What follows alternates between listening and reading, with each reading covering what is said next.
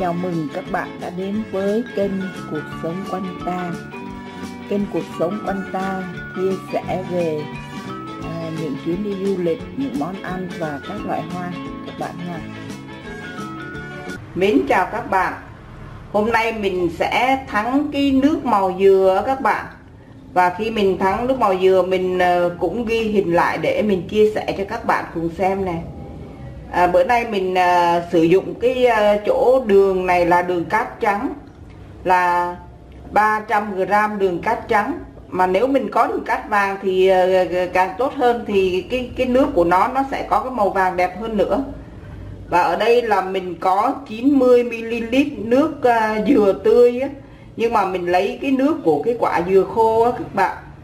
Chứ mình đừng có lấy nước của à, quả dừa mà nó còn non quá nha bây giờ đầu tiên đó là mình uh, lấy một cái chảo này mình sử dụng cái chảo dày dày một xíu nha. Rồi mình cho cái đường vô nè. Và mình dàn ra mỏng mỏng thôi. Rồi mình bật bếp lên. Mình bật với với cái lượng lửa mà to nhất nè các bạn. Cái bếp của mình như vậy là to nhất rồi đó rồi mình cứ để yên ở ờ, trên ờ, cái cái ờ, ngọn lửa như vậy và mình không có đụng đậy một cái gì vô hết á. Rồi mình cứ nấu ở trên lửa như vậy nha. Trong khi mình nấu thì mình cứ nếu mà ấy thì mình cứ cầm hai cái quai này nè các bạn. Mình lắc qua lắc lại thôi chứ mình không có sử dụng đũa vô nha. Và mình cứ nấu như vậy để cho cái đường của mình nó tan chảy hết ra và nó lên cái màu cánh gián đó các bạn.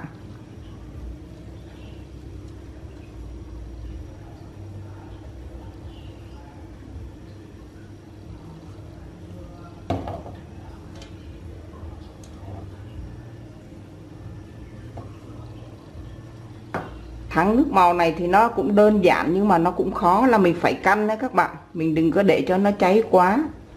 Nó khi nào mà cái màu nó mà nó ừ, tới cái màu canh rán là được nè.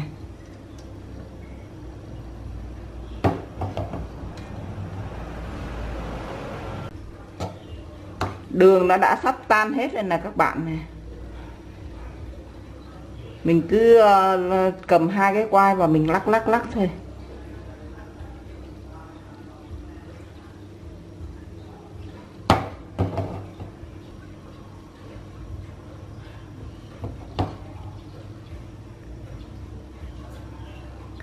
Nó cũng bắt đầu chuyển qua cái à, màu à, đậm đậm rồi nè các bạn. Nhưng mà chưa đâu, mình vẫn nấu thêm một xíu nữa. Cho nó khi nào mà nó có cái màu nó nó nó đậm.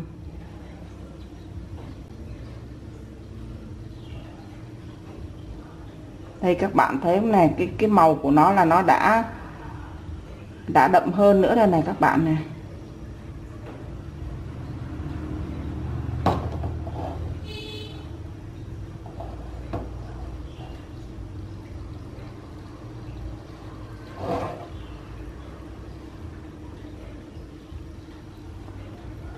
và mình căn cho nó tới cái độ mà màu đẹp nhất nè các bạn ha. Thì mình tắt bếp đi.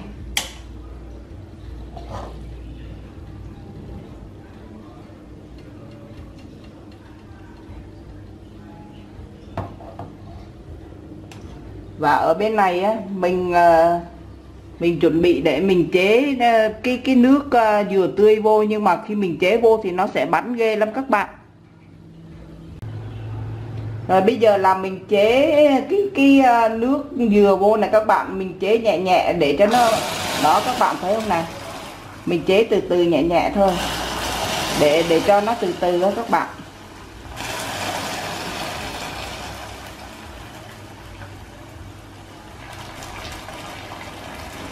Rồi khi mà nó đã bớt cái độ sôi rồi thì mình chế hết vô này, các bạn.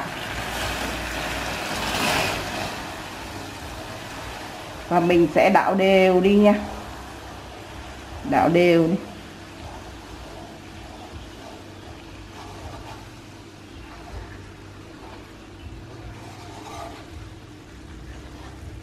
À, khi mình đảo đều rồi á, thì mình à, bật bếp lên lại để mình nấu cho cái cái à, nước nó sôi lên lại các bạn. Sôi nhanh lắm các bạn. Mình chỉ cần nó sôi ờ, khoảng một vài giây thôi là cái nước của mình nó đã tốt lên này các bạn. Rồi mình tắt bếp đi nha. Đây các bạn thấy không này? Cái màu của nó thì đẹp mà tại vì cái nền chảo á, nó nó màu đen đó các bạn. Nhưng mà khi mà mình vừa mới nấu xong á thì ờ, cái nước màu nó chưa có độ sánh đâu các bạn. Mình phải để cho nó ừ, nguội á. Thì cái cái nước màu của mình nó mới có cái độ sánh nha.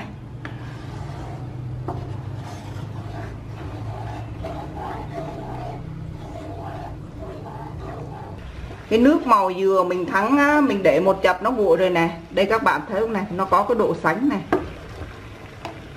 Và mình à, cho nó vô cái cái à, tô màu trắng để cho các bạn xem nè. Cái màu của nó rất là đẹp luôn á. Đó. đó các bạn thấy nè. Màu rất là đẹp á.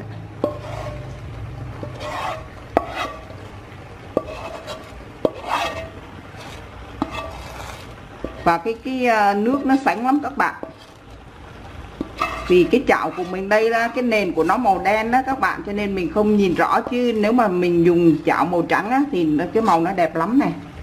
Đó. Như ở bên này này các bạn mình ờ, cũng ờ, lấy cái nước màu đó mình kho cá này. Đẹp chưa này? Đó. và cái nồi cá cũng được rồi mình tắt bếp này. Đó. Đây này như các bạn thấy không này? Mình láng láng để mình thấy cái chỗ cái nền của nó này. Cái màu đẹp chưa này? Thế là với khoảng khoảng 300 g đường và 90 ml nước uh, uh, nước dừa tươi thôi là mình đã có cả tô nước màu này. Mình cất vô trong cái keo để mình uh, để dành mình kho cá với kho thịt. Đây các bạn thấy không này? Cái màu nó rất là đẹp luôn. Và nó sánh nè. Nó không có lại đường này. Mến chào các bạn nha.